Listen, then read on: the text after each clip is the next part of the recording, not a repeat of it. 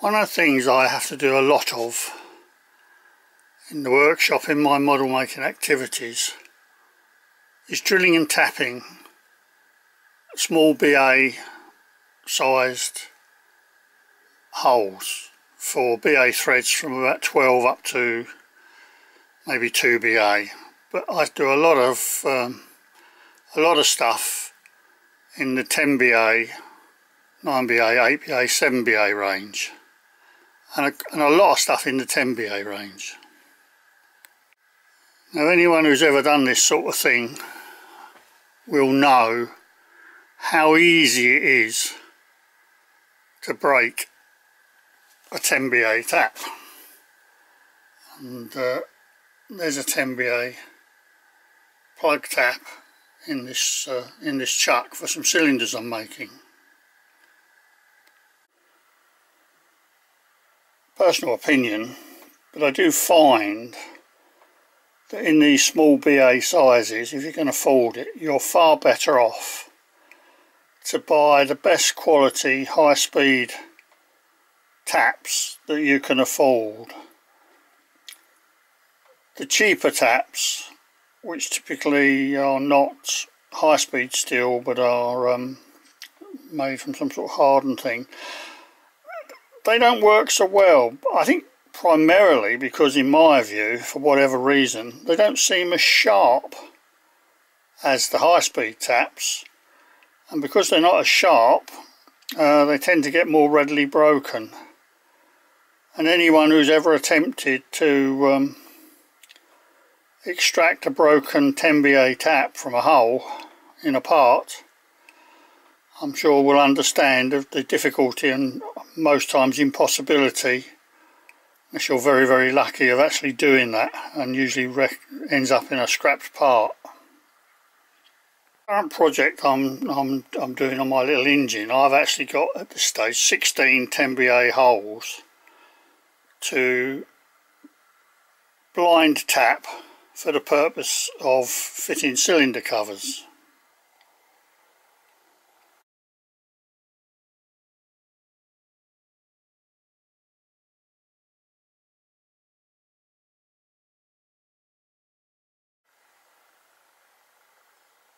This is a very old, because I made this um, donkeys years ago, this is a very old drill stand that used to be available, I don't know if they still are, for a Black & Decker drill.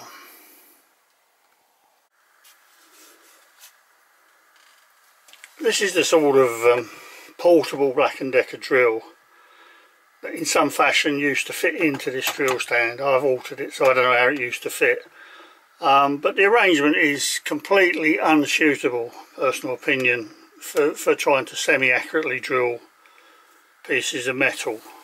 Uh, the thing used to have a lever where you could move this part up and down to do the drilling.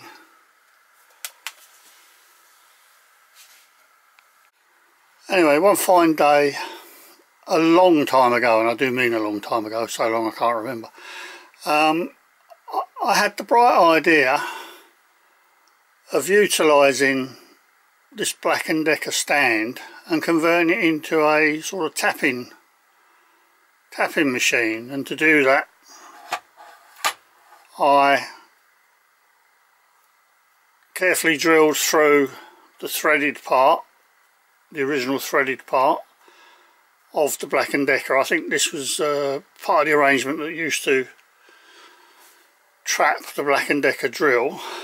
So that was actually carefully drilled through to take a take a rod.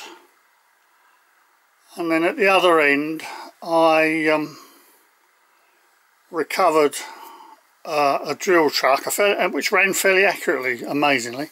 A drill chuck from a defunct I think battery operated drill. I don't know am I the only one who ends up with a huge collection of these things when the batteries uh, no longer function and it's not worth buying a new battery I just buy another drill because they're also cheap. So I recovered a chuck that actually runs pretty accurately and then made up a fitted a um, a sleeve to the chuck this part which I then attached to the rod and made up a bottom bearing support with a bronze bush at this point. Now these Black & Decker drill stands were not made for accurate work and not actually made with any accuracy whatsoever.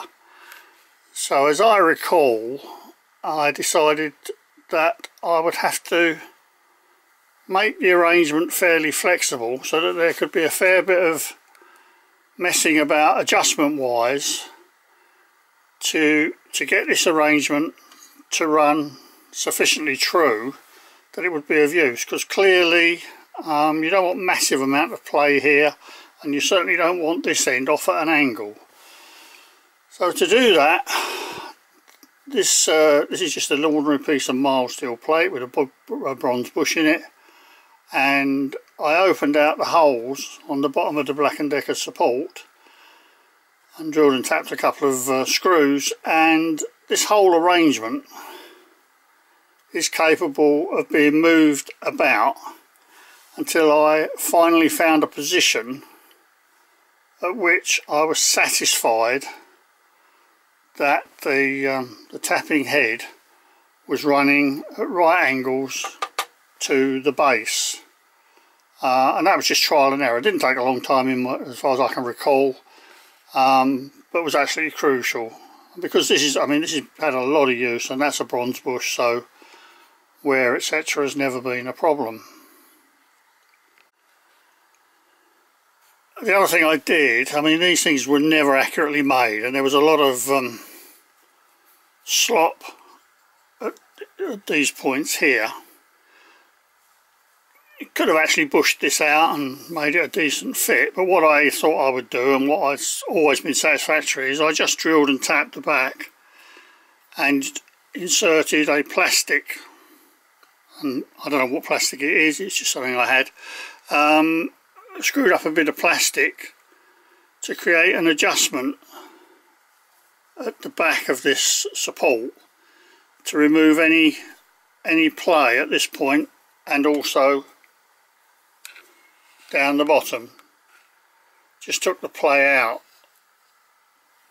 of the arrangement and I have to say over I don't know 30 40 years it's proved extremely satisfactory. The machine's quite handy because by simply moving it up and down one can accommodate quite a reasonable length of work. This is a bit of an extra plate I put on to just uh, increase the area of what was the original um, Black & Decker base. It's not fixed down, it just sits there. It's good enough, always seems to work. Um, and sometimes I find, depending on what I'm doing, I need quite a depth under the throat if I can't be bothered to take things apart depending on the part I'm messing about with. And so the ability to not only rotate this thing but also slide it up and down is quite handy. And then the tapping because these holes are not deep um, the tapping is just done and the spring just sort of holds it off the work till we get started is done by just turning that that's good enough. Well, it's for me anyway.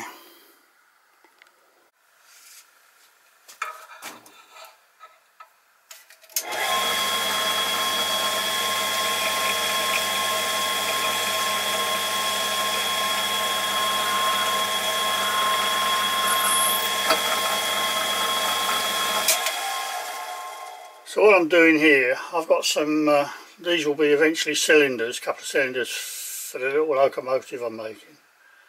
I've made the cylinder end, end covers and I'm now drilling and tapping to attach the end covers to what will be the cylinder blocks.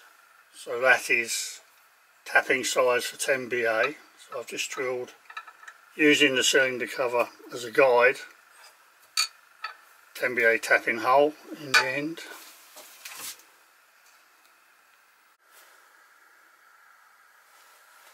And now using this homemade uh, sort of tapping machine, just uh,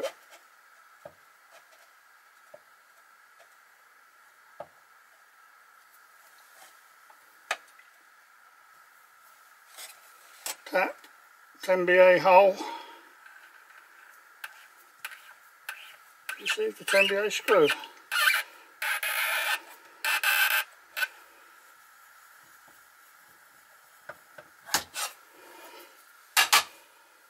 There we are, done. Repeat as many times as you need to.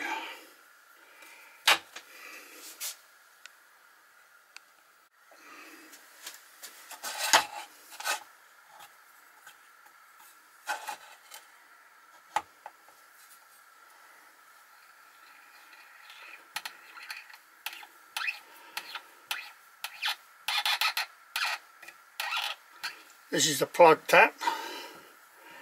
I'm not using any tape. taper tap to get things started. Uh, I think this this cylinder, I don't know what it is, uh, probably some sort of uh, brass or somewhere between half and bronze, who knows, it's something I had.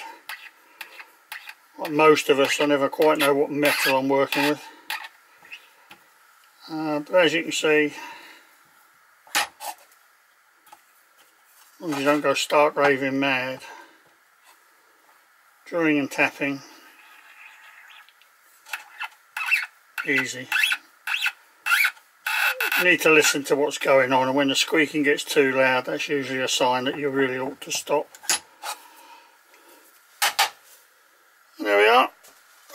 Four 10BA blind holes in the end of uh, what will be a cylinder eventually. Obviously there's a lot of work still to do on it but um,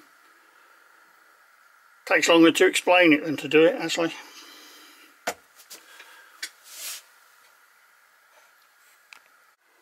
Probably worth mentioning that I never ever clamp whatever part it is that I'm tapping. I never ever clamp that rigidly to the base.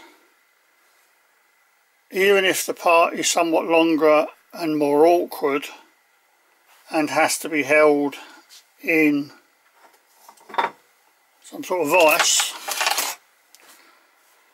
I do not clamp the vice to the plate. My thinking is that you get a much better feel, especially with these small taps, for what's going on if things start to bind and get tight. If everything can move, you can feel it with your fingers and you can hear with your ears rather than if you clamp everything down rigidly. Personally I think you lose a lot of um, sensation and it becomes much easier to break something the tap and you really rather wish you hadn't. Not because I mean the taps are not cheap but um, the biggest problem is you could have put a lot of work into something that you're making end up with a broken tap that you cannot extract uh, and you might find that you've got several days worth of scrap on your hands. That is a seriously unfunny situation. Do not ask me how I know these things. So there you have it, homemade tapping machine, so called. For free really, everything, nothing bought, uh, was just from bits that I happen to have lying about, including the drill chuck as I explained earlier, uh, and that's the way I like it. Don't pay for it if you don't have to.